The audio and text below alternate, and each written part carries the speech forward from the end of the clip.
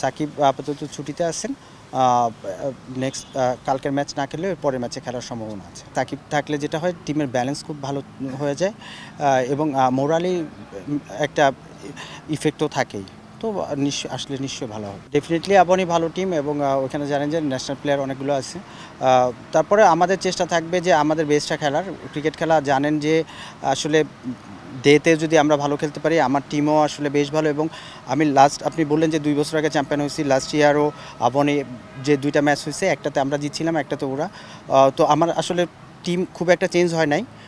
তো আমার টিম যে আছে সেটাই আছে। তো আসলে যখন আপনির সাথে খেলা হবে, আমাদের সর্বোচ্চ চেষ্টা থাকবে।